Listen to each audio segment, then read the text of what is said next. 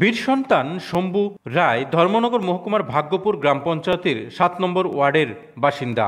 দুহাজার পনেরো সালে সিআরপিএফ বাহিনীতে যোগদান করে শম্ভু রায়। ছত্তিশগড়ের রাজধানী রায়পুর থেকে চারশো কিলোমিটার দূরে বিজাপুর জেলার মাওবাদীদের আক্রমণে শহীদ হন রাজ্যের বীর সন্তান শম্ভু রায়। তার পিতা দিলীপ রায় এবং তার চার ছোট ভাই বোনের মধ্যে সকলের ছোট ছিল শম্ভু।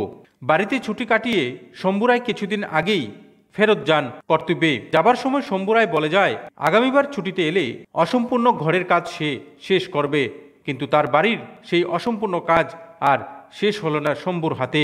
সোমবার সকালে শম্ভু রায়ের বড় ভাই দেবাশিস রায় জানান, এখন পর্যন্ত তাদের কাছে শম্ভুর শহীদ হয়ে যাওয়ার বিষয়টি মেনে নেওয়া সম্ভব হচ্ছে না। গোটা পরিবার সহ এলাকাবাসীরা বিষয়টি যেন মানতেই পারছে না। গত বৃহস্পতিবার বাবার সাথে এবং শুক্রবার তার ছোট ভাইয়ের সাথে শেষ কথা হয়েছিল শম্ভু রায়ের। বীর সন্তানের মৃত্যুতে শোকাহত গোটা ধর্মনগর মহকুমা। এদিকে আম্বাসা হেডকোয়ার্টার থেকে সিআরপিএফের একটি প্রতিনিধি দল সোমবার সকালে ছত্তিশগড়ের নাশকতায় হামলায় শহীদ রাজ্যের তথা উত্তর ত্রিপুরা জেলার বীর শহীদ শম্ভু রায়ের বাড়িতে যান।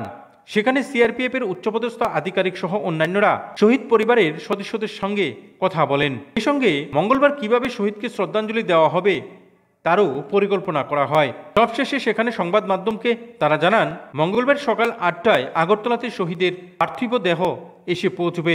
তারপর আগরতলা থেকে গাড়ি করে শহীদের নিজ বাড়িতে নিয়ে আসা হবে তার মরদেহ। এদিকে এদিন শম্ভুরায়ের বাড়িতে যান রাজ্য মহিলা কমিশনের একটি প্রতিনিধি দলও। ধর্মনগরের বীর সন্তান শহীদ শম্ভু রায়ের অকাল প্রয়াণে সোমবার ধর্মনগর মহকুমার বিভিন্ন স্থানে শোক পালন করে। ব্যবসায়ী মহলও साढ़े आठ बजे फ़्लाइट फ़्लाइट है वहाँ से एयर इंडिया का दिल्ली से। तो वो डायरेक्ट आकर अगरतला जाए और वहाँ छोटा सा सेरेमनी रहेगा। उसके बाद फिर सीधा यहीं लेकर आ जाएँगे। तो मेरे ख्याल से चार घंटा लग जाएगा यहाँ पहुँचने पहुँचते और डेढ़ दो बजे तक आ जाएँगे। अभी तक इतना ही है। यहाँ पर आप लोगों का क्या क्या कार्यक्रम होगा? सर हम लोग यहाँ पर आकर पहले बॉडी कहते हैं। शहीद को हम हैंड ओवर करेंगे फैमिली को।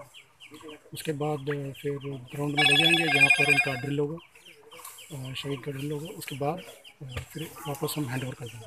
Bureau report, Akash Tripura.